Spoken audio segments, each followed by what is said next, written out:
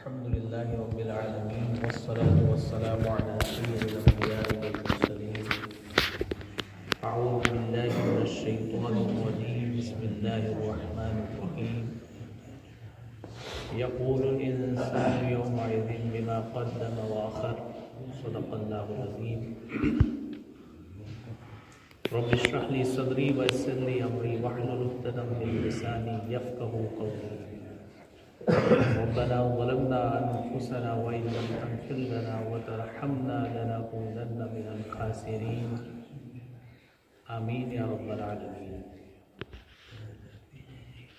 मुअज़्ज़ज़ व मुकर्रम सामईन अस्सलामु अलैकुम व रहमतुल्लाहि व बरकातुहू वालेकुम सलाम व रहमतुल्लाहि व बरकातुहू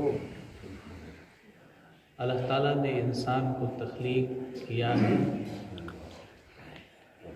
और तख्लीक करने के बाद इस ज़मीन पर बसाया। एक ख़ास मकसद के तहत।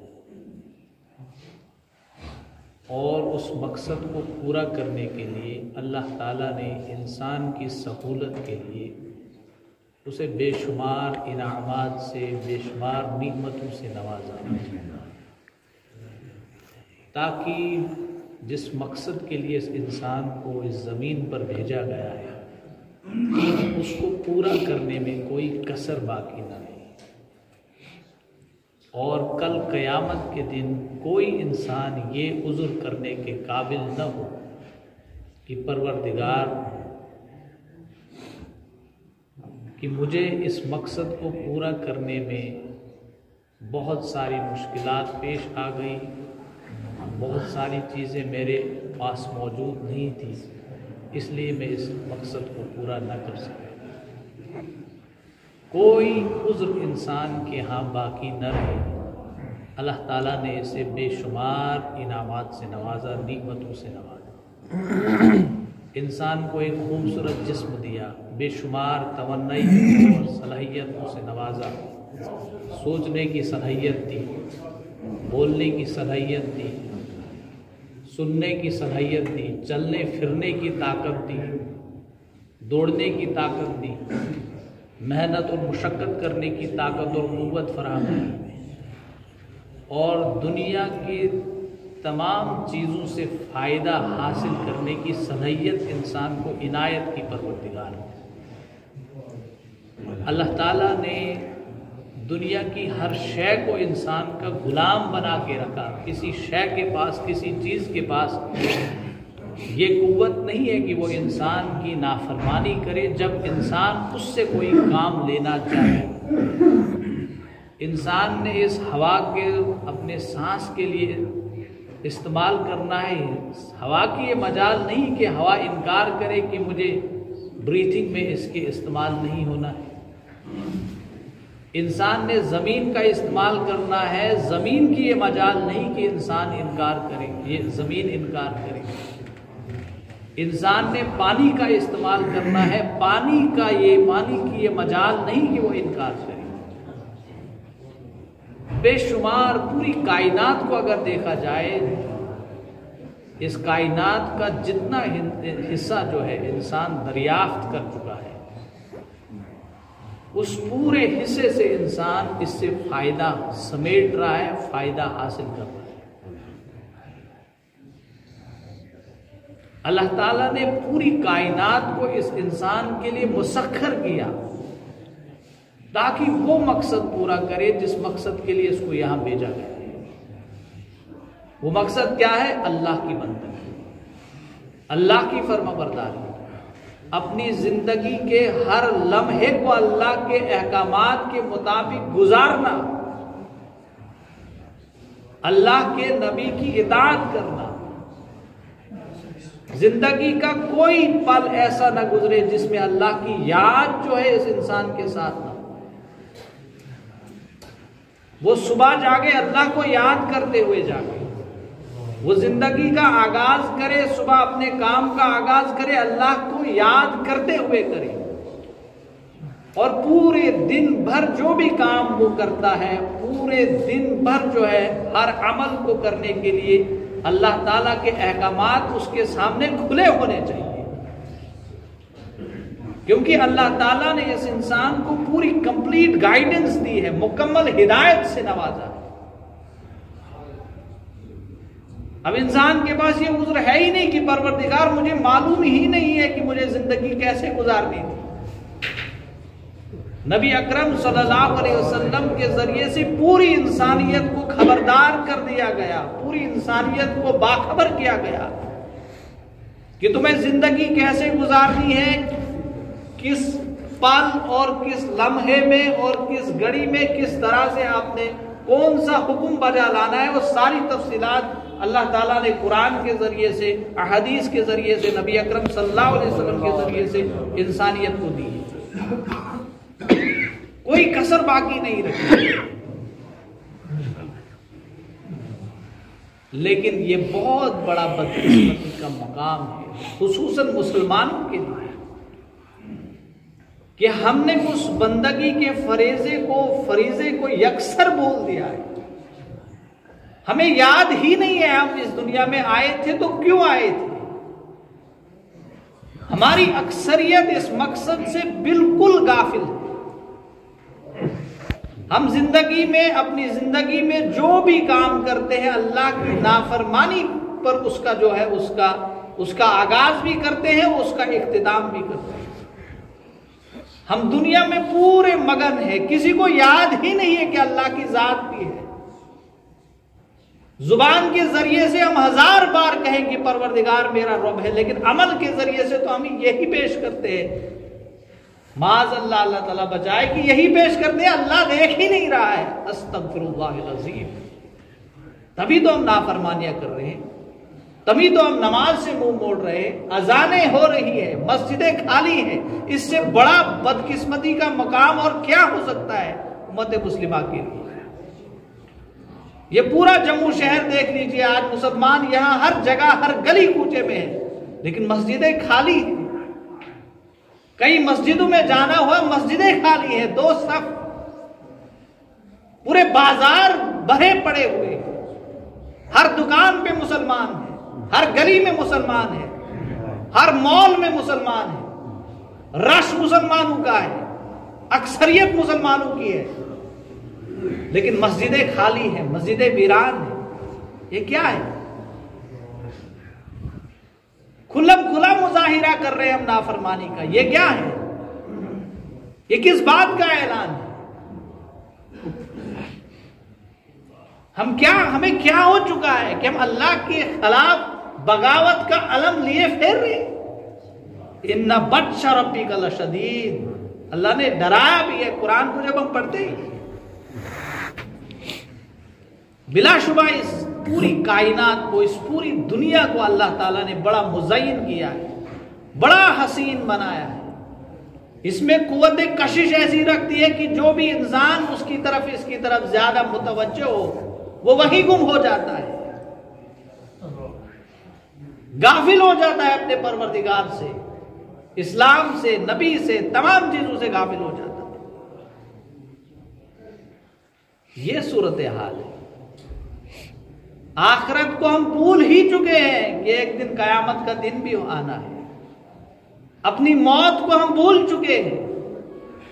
अपनी मौत को भूल चुके हैं, कयामत को भूल चुके हैं, हिसाब किताब के दिन को भूल चुके हैं।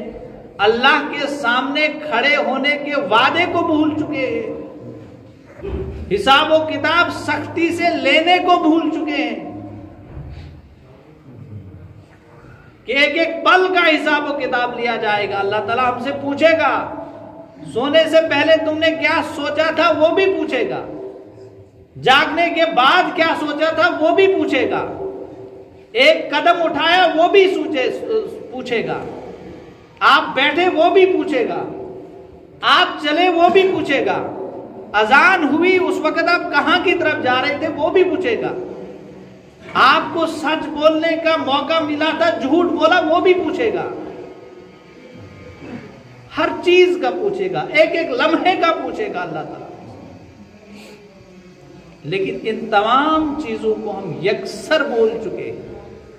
इसलिए हमारी ज़िंदगी इस तरह से गुजर रही है मैं अक्सर बेशतर देखता हूँ कि हमारे नौजवानों को दीन का वो शगफ मौजूद ही नहीं है। हमारी मसाजिद में सिर्फ़ बुज़ुर्ग हजरात होते हैं। किसी नौजवान को बुरी मेरी बात ना लगे। सिर्फ़ न बुज़ुर्ग हजरात होते हैं। नौजवानों को जैसे कोई नमाज़ उन पर कोई फ़र्ज़ है ही नहीं। उस दिन आज इंसान, मैंने आयत भी पढ़ी थी, इंसान सोचेगा उस दिन, कहेगा कि मैंने बीमा कदमा आखिर मैंने आगे क्या भेजा है, पीछे क्या छोड़ा है? सब कुछ याद आ जाएगा इंसान उस वक्त कहेगा, परवरदिगार से मुझे कोई निकलने की जगह तो बतला दीजिए। कल्ला ला वजर। आज कोई भागने की जगह नहीं है। कोई पनाह की जगह नहीं है। तो इससे पहले कि हमारी मौत आ जाए, आज देख रहे हैं आप कि किस तरह से जो है डेथ रेट बढ़ रहा है, मुख्तलिफ़ बीमारियों की वजह से। एक्सीडेंटल डेथ्स का जो रेट जो है दिन ब दिन बढ़ रहा है। इसकी पेशन गोया की गई है। नबी अकरम सल्लल्लाहु ने फरमाया, कयामत से पहले जो है, नागहानी तौर पर जो है, अमवात हो जाएँगी। एक्सीडेंटल डेथ्स का रेट जो है, वो बढ़ जाएगा। वो कयामत के करीब तर होने की निशानियाँ हैं। दुनिया में बेशुमार फसादात होंगे। कयामत के करीब तर होने की निशानी है। वबाएँ फूट पड़ेंगी। कयामत के करीब तर होने की निशानियाँ जंगो जदाल का आगाज़ होगा, कयामत के करीब तर होने की निशानी है। पूरी दुनिया के क्या हालात है, पूरी दुनिया का मंजरनामा क्या है, वो आज पूरा जो है टेलीविज़न के ज़रिए से, नेट के ज़रिए से हमारे सामने है, लेकिन हम इससे इबरत लेने की कोशिश नहीं कर रहे। तो इसलिए इससे पहले कि हमारी मौत आ जाए, हम अपने बारे में फ़िक्र करें। इससे पहले कि हम किसी नुकसान का शिकार हो जाए अपने बारे में फिक्रमंद होने की ज़रूरत है। अपने आप को संभाले, सुवारे, सुधारे। अपने करीब करीब तरीन रिश्तेदारों को सुधारने की कोशिश करें। अल्लाह के पैगाम से उनको आगाह करें। अपने बच्चों को सुबह जब जागे तो इस दर से कुरान से उनको मुस्तफीद करने की कोशिश करें। गोश गुजार कराएँ ये दर से कुरान। दर से आखरत उन्हें दें। जागे तो दर से आखरत, सोए तो दर से आखरत। ये मुसलमान का काम होना चाहिए मुसलमान पर फ़र्ज़ है। लेकिन बदकिस्मती से दुनिया ने, दुनिया की कशिश ने हमें इस तरह अपने अंदर गुम कर दिया है कि हम अपना बच्चा जब जागता है, नमाज़ नहीं पढ़ेगा, लेकिन ज़रूर दुनिया का दर्श उसे दे के जाएँगे कि अगर तूने मेहनत नहीं की, इस दुनिया में नाकाम हो जाएगा। बाकी तुझे क्या कुछ करना है, तू कर। लेकिन जॉब के मामले में, पढ़ाई के मामले में, एजुकेशन के मामले में, दुनियावी तालीम के मामले में कभी पीछे ना हटना। आखरत के मामले में तो जितना पीछे जाएगा कोई बात नहीं। ये हमारा रवैया है। ये हकाइक है बिटर ट्रूथ है। कड़वा सच है। इसका हमें सामना करना पड़ेगा। इसको हमने मानना पड़ेगा। इंसान की नफसानी ख्वाहिशात बड़ी खतरनाक चीज़ें हैं जो अल्लाह ने इंसान को दी है इस आजमाइश के लिए। नब तली ही फजालना समीम वसीरा कुरान कहता है, सूरतुल मुल्क में, सूरतुल इंसान की आयत मैंने पढ़ी। कुरान सूरतुल मुल्क में कहता है कि हमने मौत व हयात का सिलसिला इसीलिए बनाया है ताकि इंसान को आजमाया जाए। इंसान को इस दुनिया में खाने पीने के लिए नहीं भेजा गया है, सिर्फ़ मुजर्रिद खाने पीने के लिए नहीं भेजा गया कि इंसान आए इस दुनिया में, उसे सिर्फ़ पेट की फ़िक्र हो, शिकम की फ़िक्र हो, जिसम की फ़िक्र हो और रूह से बिल्कुल गाफिल हो जाए, नहीं। आप तारीख पढ़ लीजिए, कितने बड़े बड़े लोग आए हैं। आज उनका नाम और निशान भी नहीं है। तारीख के सफात पे हम उनका नाम जो है पढ़ते हैं, लेकिन उनको आज हम देखते नहीं है। बड़े बड़े लोग कितनी बड़ी फतुहात की हैं। इल्मो दानिश के कितने बड़े बड़े पाइकर थे वो लोग। फलसफा और तालीम और पढ़ाई में बड़ा नाम कमाने वाले आज कहीं भी नहीं। ताकत के एतबार से बड़े बड़े शहनशाह इस दुनिया में गुजरे हैं, कहीं भी नहीं। कयादत के एतबार से बड़े बड़े लीडर्स बड़े बड़े जहीन फतीन सियासतदान आज कहीं भी नहीं। कहा गए वो लोग सब? इन चीज़ों पे हमें गौरव फ़िक्र करना चाहिए। अब इंसान इसकी तरफ़, इन इन मौजूद की तरफ़ जो है अक्सर बेशतर सोचने की जहमत नहीं उठाता। वो सोचता है, मुझे यहाँ सोचने से मिलेगा क्या? मेरी दुनिया खराब हो जाए। आपने एक बैलेंस्ड अप्रोच जो है अपनानी है मोमिन को। रब्बना आतिना फिर दुनिया हसनत फिल आखिरती हसनत वकीना आजाब एक मतदिल रवैया रवैया जो है इंसान को अपनाना है, मोमिन को अपनाना है। उसके बारे में सोचना है। अगर हमारा एक टाइम टेबल होना चाहिए, एक मैनेजमेंट होनी चाहिए, जो हमारे नौजवान हैं, उनके पास एक टाइम मैनेजमेंट होना चाहिए। मुझे दिन के 24 फोर आवर्स मिलते हैं, किस, कितने घंटे मुझे स्टडी करना है? कितने घंटे मुझे कुरान को पढ़ना ही पढ़ना है? अगर हम कुरान को नहीं पढ़ेंगे तो हमारी आखिरत और उकबा की ज़िंदगी कैसे संवरेगी? हमारी रूहानी तौर पर हम कैसे ज़िंदा हो जाएँगे? ये जिस्म तो तवाना हो जाएगा, लेकिन इस जिस्म के अंदर जो है रूह, वो बिल्कुल कमज़ोर हो जाएगी। अगर रूह कमज़ोर हो गई, इंसान अखलाकी गिरावट का शिकार होता है। वो बच्चे अपने माँ बाप के सौले औलाद नहीं होते। वो सोसाइटी के लिए कोई कारगर नहीं होते हैं, मुफीद नहीं होते हैं। वो कल सिर्फ़ करप्शन का शिकार हो जाते हैं। आज पूरे किस डिपार्टमेंट में आप जाएँगे, हर जगह पर करप्शन का गलगला है वजह क्या है? आप देखिए ऑब्ज़र्व कीजिए आप। इसका तो मुझे जाती तजुर्बा है, जहाँ तक मैंने देखा, हर जगह पर करप्शन का शिकार हम हो चुके हैं। उसकी वजह यह है कि हमें आखरत का कोई तस्वुर नहीं है। हमें यह फ़िक्र है ही नहीं कि मरने के बाद हमें हिसाब किताब देना है। हमें सिर्फ़ यह फ़िक्र है कि पेट जो है भरना चाहिए। हम लज्जतों के शिकार हो चुके हैं। इस लज्जत ने हमें अपना गुलाम बनाया है। मज़े ने अपना गुलाम बनाया है। टेस्ट ऑफ़ लाइफ ने हमें अपना गुलाम बनाया। इसलिए एक वादा करें मुसम्म इरादा करेंगे आज ही करेंगे। ये जो कल आखिरत में अल्लाह ताला हमसे पूछेगा, क्या तुम्हें कोई डराने वाला आया था? एक हदीस में आया है कि जब जहन्नमियों को कुरान में भी आया है, कुरान की आयत भी है, लेकिन हदीस में थोड़ा तफसील से आया है। सूरतुल मुल्क में ही आया है। कि उनको बताया जाएगा कि क्या आपको कोई नज़ीर डराने वाला नहीं आया था?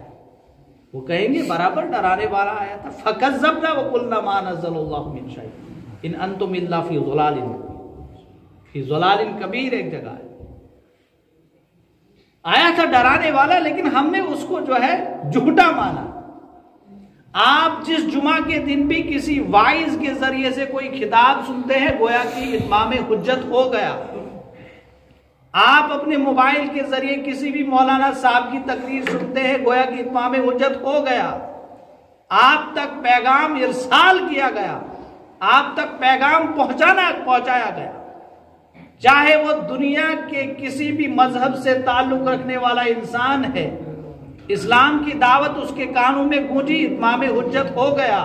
उसे कल अल्लाह ताला पूछेगा, तूने गौरव फ़िक्र क्यों नहीं किया था? दुनिया के मामला में तू गौरव फ़िक्र करता था, इस इस मुनफरिद कलाम के बारे में तूने गौरव फ़िक्र क्यों नहीं किया था? ये कुरान तो ऐसी किताब है, इस्लाम तो एक ऐसी दावत है जिस जो इंसानों को अपने तरफ़ खींच के ले जाती है। लेकिन तुमने, तुम्हें दुनिया ने इतना मगन किया हुआ था अपने आप में कि तुमने इससे गफलत बरती। कोई गैर मुस्लिम भाई भी होगा, उससे भी यह सवाल होगा। मुसलमानों से तो इससे खतरनाक सवाल होंगे। ये मैं गैर मुस्लिम हजरात की बात कर रहा हूँ, उनसे ये सवाल आते इसलिए कुरान ने कहा है कि आप गौरव फ़िक्र करो।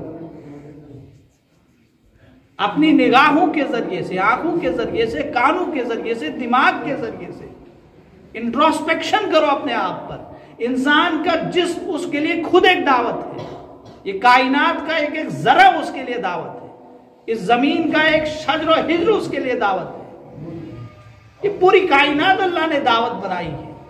लेकिन जो अपनी आँखें, जो अपने कान, जो अपना दिमाग खुला रखे, सोचे, समझे, देखे, उसके लिए ये चीज़ें जो है दावत बन के आ जाती है। वरना जो इन चीज़ों की जहमत न करे, सोचने, समझने की कोशिश न करे, वो ज़ाहिर सी बात है कि वो गफलत का शिकार होकर अपनी उखरवी ज़िंदगी को बर्बाद कर देता है, दुनिया की ज़िंदगी को भी। हमें बहुत बड़ा मिसकंसेप्शन है हमने दुनिया की ज़िंदगी की डेफिनेशन क्या समझी है? और यहाँ पर कामयाबी का मफहूम क्या जाना है? एक बहुत बड़े फिलोसफर में लिखा है कि मैंने दुनिया की किताबें पढ़ डाली। एक मगरबी फिलोसफर है, उसका हवाला एक इस्लामिक स्कॉलर ने अपनी किताब में दी है, दिया है। उसने लिखा है कि मैंने पूरी दुनिया के फलसफे पढ़ लिए। लेकिन कामयाबी का मफहूम मैं अभी तक नहीं समझा था कामयाबी का मफहूम यह है peace of mind and soul इंसान रूहानी तौर पर जो है वो पुरसकून होना चाहिए। दुनिया की दौलत के अंबार लगे हुए हों, लेकिन दिल का सुकून हासिल ना हो। आज पूरी दुनिया में डिप्रेशन एक बहुत बड़ी बीमारी बन चुकी है, जिसके शिकार हमारी अक्सरियत हो चुकी है। आप यहाँ की तरफ़ तवज्जो मुतवजो हो वहाँ कुछ नहीं हो रहा है। आप मेरी तरफ़ मुतवजो अच्छा तो मामला यह है कि आज पूरी दुनिया डिप्रेशन का शिकार है। वजह क्या है? Peace of mind and soul हासिल नहीं दौलत के अंबार लगे हुए हैं। हर चीज़ उन्हें मुहैया है। हर चीज़ दस्तियाब है। लेकिन दिल का सुकून हासिल नहीं है। इसी को सक्सेस कहते हैं। लेकिन ये दिल का सुकून जो है, सिर्फ़ किसको हासिल होता है? एक मोमिन को हासिल होता है। वो फिर जिन हालात में भी होकर उसे मालूम होता है, मेरा रब मेरे साथ मेरा परवरदिगार मेरे साथ गुर्बत आएगी, उसे पूरा भरोसा होता है आजमाइश है। इसमें मैं खत्म नहीं हो जाऊँगा। मेरी शख्सियत बिल्कुल खत्म नहीं होगी। बीमारी आएगी, उसे मालूम होता है, अल्लाह की तरफ़ से आजमाइश है। दौलत आएगी, उसे मालूम होता है, अल्लाह की तरफ़ से आजमाइश है। इकतदार और अहदा मिलेगा, उसे मालूम होता है, ये अल्लाह की तरफ़ से आजमाइश है। मुझे एग्जमाइन किया जा रहा है, मुझे बिल्कुल जो है आजमाया जा रहा है। मुझे इस पर इतराने की कोशिश नहीं करना, होनी होनी चाहिए, करनी चाहिए। अगर गुर्बत और इफलास मिल रही है तो मुझे कम हिम्मत और पस्त हिम्मत होने की ज़रूरत नहीं है, बल्कि ये आजमाइश है। ये ज़िंदगी का फलसफा अगर उसके सामने जो है बिल्कुल खुला होगा मुबैन होगा बैन होगा। तो उसे पूरी ज़िंदगी की समझ आएगी, वो कभी भी परेशान नहीं होगा। वो हर लम्हा अल्लाह का शुक्र अदा करेगा। और अल्लाह का शुक्र करने के ज़रिए से इंसान को एक ऐसी खुशी अदा होती है, जिसके, जिसका एहसास, उस उसको एहसास और उसकी कैफियत क्या होती है, उसको इंसान बयान करने से काफिर है। इसीलिए तो ये आप देख रहे हैं कि एक तरफ़ जो है लाखों की तादाद में फौजे हैं। हज़ारों की तादाद में फौजे हैं। यहाँ से तीन सौ सत्तर है। वो कौन सी चीज़ जो है उनके, उन्हें खेच के लाई है? दरिया सामने पड़े हैं तारिक बिन जियाद के। कश्तियों का आग लगा दी। दरियाओं में घोड़े डाल दिए हैं।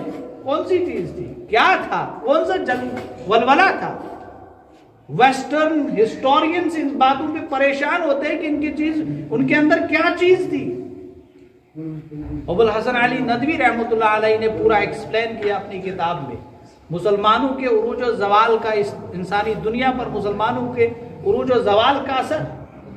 कि वो क्या था? क्या चीज़ थी मुसलमानों को उरूज दिलाने वाली? और क्या चीज़ थी मुसलमानों को पस्त करने वाली? आखरत के लिहाज से उन्होंने पूरा एक्सप्लेन किया अपनी किताबों में। लेकिन ये बड़ी बदकिस्मती है, हम किताबों का शगफ नहीं रखते। किताबों का शौक नहीं रखते। मैं डोडा से हूँ। वहाँ पर किताबों की दुकान पे अक्सर जाना होता है मेरा। वो बेचारा दुकानदार जो है मायूसी का शिकार है क्योंकि किताब किताब खरीदने के लिए आता ही नहीं है। आप जाए दुनिया की किताबों में एग्ज़ाम की के लिए जो भी बुक्स लेनी रश होता है। हमारे घरों में कुरान नहीं है हमारे घरों में इस्लामी कुतुब नहीं है। हम क्या हिदायत देंगे? क्या पैगाम देंगे अपने बच्चों को? मैं इसीलिए कह रहा हूँ कि बैलेंस्ड अप्रोच कुछ नहीं होता है। कुछ नहीं होता है। मैंने भी तालीम हासिल की है, कुछ नहीं होता है। अगर इंसान कुरान को साथ में पढ़े, इस्लामी किताबों का एक बाजाबता टाइम टेबल के मुताबिक मुताला करे। ये चीज़ें इंसान के अंदर आखरत तलबी जो है, उसका जज्बा पैदा करती है।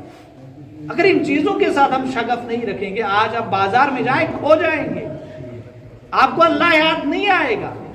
इसलिए फरमाया, दुआए मासूरा, नबी अकरम सल्लल्लाहु अलैहि वसल्लम सिखलाए बाज़ार जाए कौन सी दुआ पढ़नी? क्यों कहा नबी अकरम सल्लल्लाहु अलैहि वसल्लम को मालूम, अल्लाह ताला को मालूम है कि मेरे बंदे जो है, मशगूल हो जाएँगे फिर। वो गाफिल हो जाएँगे मुझसे। इसलिए दुआएँ दी हैं कि आपने किस वक्त कौन सी दुआ पढ़नी है?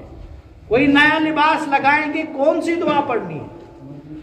आप मस्जिद में दाखिल हो रहे हैं, कौन सी दुआ पढ़नी है? मस्जिद से बाहर निकल रहे हैं, कौन सी दुआ पढ़नी है? आप कोई बिज़नेस कर रहे हैं स्टार्टिंग में कौन सी दुआ पढ़नी है? निकाह कर रहे हैं, उसके आगाज़ में आपने कौन सी दुआ कर, पढ़नी है? सो रहे हैं, कौन सी दुआ? जाग रहे हैं, कौन सी दुआ? ये सारी चीज़ें जो अपनी हमारी ज़ुबान को जिक्रुल्लाह से तर रखती है। इसका बराह रास्त असर हमारे दिमाग पे पड़ता है। क्योंकि आज पूरी दुनिया में जो है शैतानी हथकंडा जो है इसको इसके उसमें जकड़ा गया है हमें शैतान और शैतान के एजेंट्स ने पूरी दुनिया में मुसलमानों को इंसानों को पूरी इंसानों को अल्लाह से गाफिल करने के जो बड़े हरबे जो है इस्तेमाल किए हुए। आज इंटरनेट के ज़रिए से जो कुछ फैल रहा है नाफरमानी का जो पैगाम आम किया जा रहा है मेरे एक बहुत बड़े स्कॉलर से बात हुई थी। लंदन में मुकीम है, उनने कहा, मैंने उसे सवाल किया था कि, हज़रत, आप मुझे बतलाएँ कि दुनिया में मुसलमान नौजवानों के लिए सबसे बड़ा खतरा क्या है? उन्होंने कहा कि सबसे बड़ा खतरा ये इंटरनेट है। इसके ज़रिए से जो कुछ फैलाया जा रहा है, इंसान हैरान और परेशान है। इसलिए वो हदीस भी याद आती है। फरमाया नबी अकरम सल्लल्लाहु अलैहि वसल्लम ने, एक वक्त आएगा, शाम को मोमिन सुबह काफिर।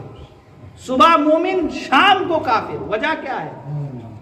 कोई नौजवान कितना दीनदार भी होता है बेचारा अगर मोबाइल खोलता है वहाँ पता नहीं क्या क्या एड्स आ जाते हैं वहीं मजबूर हो जाता है अगर अल्लाह बचाए।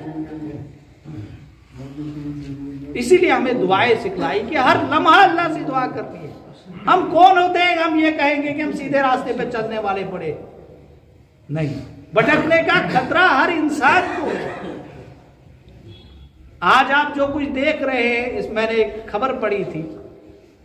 जो कुछ हम इंटरनेट में सुन रहे हैं, आज जो म्यूज़िक का जो आज आम जो है, गलगला है, चर्चा है, उन्होंने लिखा था कि जो भी आज मोबाइल में गाना कोई सुन रहा है, वो जो गाना सुन रहा है, वो ज़ाहिर सी बात है इलेक्ट्रॉनिक सिग्नल्स होते हैं, पहले वो कन्वर्ट होके साउंड वेव्स में कन्वर्ट होती है, आप सुन पा रहे हैं। उन्होंने कहा, उसके बैकग्राउंड में इस्लाम के खिलाफ मवाद जो है इलेक्ट्रॉनिक वेव्स की सूरत में जो है, उनमें डाला जाता है। वो सबकॉन्शियसली इंसान को मुतासर करता है। इंसान के सबकॉन्शियस में इस्लाम के खिलाफ जो है, गफलत का जो है, मादा पैदा हो जाता है। जैसे आप गाड़ी चला रहे हैं, जा रहे हैं कहीं, वहाँ पर जो है टर्निंग पॉइंट दिखाया होता है। वो जो एरो दिखाया होता है, अगर वो रेड कलर का है, उसकी बैकग्राउंड जो है, अगर वो ग्रीन कलर की है आपको बैकग्राउंड भी याद रहेगी। आपका मतमाए नज़र तो वो टर्निंग पॉइंट था। लेकिन नज़र जो है, आपकी टर्निंग पॉइंट साइन पे पड़ी। लेकिन आपके दिमाग में वो जो बैकग्राउंड थी, वो भी आ गई। आप जब घर जाएँगे, आपको याद आएगा वो बैकग्राउंड भी।